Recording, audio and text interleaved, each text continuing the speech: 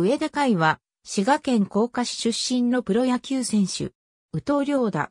阪神タイガース所属。二人兄弟の長男として出生した後に、小学校2年時に、江南第二スポーツ少年団で野球を始めた。当時は、遊撃手と投手を務め、中学生時代に所属したボーイズリーグのコナンビッグボーイズから遊撃手に専念している。中学卒業後に山梨県の日本航空高校へ進学したが、一年時を終了する間際の2月に自主退学。地元に近い近江高校へ転校した。転校に関する日本高校野球連盟の規定で、転校後1年間は公式戦出場を見合わせたが、3年時には声優劇手として第96回全国高等学校野球選手権大会に出場。チームは3回戦で敗退したが、自身は大会通算で打率571、3盗塁を記録した。2014年の NPB ドラフト会議で、阪神タイガースから5巡目で指名。契約金3000万円、年俸500万円という条件で入団した。背番号は62。2015年、高知県秋市の2軍春季キャンプで、持ち前の俊足と堅実な守備力を発揮。3月7日には、新入団選手のお披露目を兼ねた暫定措置ながら、埼玉西武ライオンズとのオープン戦で初めて1軍のベンチに入った。この試合以降は、シーズンを通じて2軍生活に終始。5月3日に広島東洋カープとのウエスタンリーグ公式戦で先頭打者として戸田隆也からプロ初本塁打を放ったが、その直後から腰痛に悩まされた。ウエスタンリーグ公式戦には通算51試合の出場で打率201本塁打5打点6盗塁を記録。シーズン終了後の秋季キャンプで1軍に抜擢された。2016年には2軍監督に就任した掛布正幸の勧めでスイッチヒッターへ転向。ウエスタンリーグ公式戦には主に遊撃手として76試合へ出場した。打率こそ168にとどまったが、12回の盗塁機とすべて成功させるなどの総力を買われて、9月30日にプロ入り後初めて出場選手登録。チームのレギュラーシーズン最終戦であった翌10月1日の対読売ジャイアンツ戦の6回裏西に、俊介の代走として一軍公式戦にデビューを果たした。ただし、自打者、岩貞優太への初球に二塁への盗塁に失敗して、交代したため、一軍公式戦では一つの盗塁死を記録しただけでシーズンを終えた。シーズン終了後に開催された第1回 WBSCU-23 ワールドカップでは、日本代表の2番遊撃手としてチームの優勝に貢献。全9試合にスタメンで起用され、大会通算打率300、9試合通算で6つの盗塁を成功させ、大会の盗塁王に選ばれた。2017年、プロ入り後初めて沖縄県宜野座村での一軍春季キャンプに参加。参加メンバー中最年少であったが、キャンプ終了後に2軍へ回った。8月30日の対東京ヤクルトスワローズ戦8回裏に、ダイソーでこの年初めて一軍公式戦へ出場。三塁まで進んだ後に、一四万塁から大山祐介の中飛で本塁へ、生還し、一軍公式戦での初得点を記録した。9月2日の対中日ドラゴンズ戦では、2番、遊撃手として、一軍公式戦で初めてスタメンに起用。1回裏の一軍初打席で高校の先輩、小熊良優から左打席で一軍初ギ打。7回裏の第4打席で福隆等から右打席で一軍初安打を記録した。レギュラーシーズン全体では、一軍公式戦13試合の出場で、打率278、1盗塁を記録。シーズン2位で臨んだ横浜 DNA ベイスターズとの2017年のセントラルリーグクライマックスシリーズファーストステージでも一軍への帯同を続けた。チームは10月17日の第3戦でステージ敗退が決まったものの、5回裏に代打でポストシーズン初打席を迎えると、ジョー・イーランドから二塁打を放った。ウエスタンリーグの公式戦には96試合に出場。打率206ながらリーグ2位の25盗塁を記録した。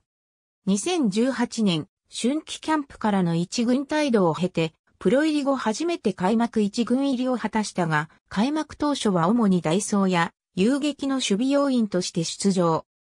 当時生二塁手だった上本博則が故障で戦線を離脱した5月中旬以降は、それまで主に遊撃を守っていた糸原健人が二塁へ回ったことなどを背景に、一番遊撃手としてのスタメン起用が続いた。5月30日の対福岡ソフトバンクホークス戦では1回裏に2投を成功。阪神の高卒4年目以内の選手としては、1993年の新庄剛志以来25年ぶりに一軍公式戦でシーズン10盗塁を記録した。6月下旬以降は前年途中からの声優劇手だった北条文也が好調な打撃を背景にレギュラーの座を奪回したことや自身の打撃が低迷したことでスタメン起用の機会が減少。8月26日の対巨人戦からは3試合で外野の守備についた。9月5日の対広島戦では、9回表1死2.3塁の打席で1塁ゴロを放つと、三塁走者の俊介が本塁へ生還。一軍公式戦初打席から215打席目にして、初打点を挙げたことによって、NPB の一軍公式戦初打席から初打点を挙げるまでの最多打席記録を達成した。一軍公式戦全体では、104試合の出場で、打率192ながら、チーム2位の19盗塁を記録。秋季キャンプでは、守備のオプションを増やすという新監督の矢野洋大の構想を背景に、本職の二塁、遊撃に加えて、外野守備の練習にも本格的に取り組んだ。2019年、ダイソーから出場した6月12日の対ソフトバンク戦で8回表1死2塁の局面で左打席に立つと松田良馬から一軍公式戦での初本塁打を放った。レギュラーシーズンにおける本塁打と打点の記録はこの打席のみで、スタメンでの出場も2試合にとどまったものの、打撃面では通算打率を242にまで向上。一軍公式戦81試合の出場で、チーム3位の12盗塁、盗塁成功率86%を記録するなど、主にダイソーの切り札として、ポストシーズンの終了まで一軍へ帯同した。守備面では、レギュラーシーズンの一軍公式戦49試合で2塁、19試合で遊撃、12試合で外野の守備についている。チームのレギュラーシーズン3位で迎えたクライマックスシリーズでは10月7日に DNA とのファーストステージ第3戦8回表にダイソーへ起用。同点の局面から自打者、梅野隆太郎への1球目に2塁への盗塁を成功させると、エドウィン・エスコバーの冒頭で3塁まで進んだ後に、梅野の浅い中飛で勝ち越しのホームを踏んだことによって、チームを5年ぶりのステージ突破に導いた。ポストシーズン終了後の11月25日に、推定年俸1600万円という条件で契約を公開。俊足を生かしたセーフティーバントの技術に定評がある一方で、確実性やパワーに課題を残している。事実、2020年には40打席連続、無安打というワースト記録を作った。2019年に一軍公式戦での初本塁打を左打席で記録した際には、一軍監督の矢野洋大が打撃練習でも見たことない打球とコメント。50メートル5.8秒の瞬速と巧みなグラブさばきが持ち味。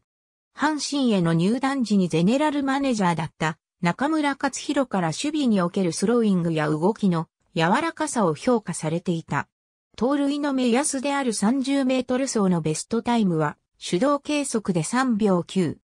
高校時代には対外試合で50回以上の盗塁を試みながら1回しか失敗しなかったという。阪神への入団後は盗塁の際に走路が蛇行する癖や、スライディングによって減速する傾向があることが指摘されていた。そこで、最短距離で二塁へ到達できるように、スタートの位置やスライディングを強制したところ、盗塁数が大幅に増えた。海という名前は誰にでも覚えてもらいやすく、海外でも通用しそうで、小学生から漢字で書けるような名前にしたいという両親の希望による。阪神への入団直後には、海その愛など、海にちなんだ楽曲を主催試合での登場曲に使うことも検討していた。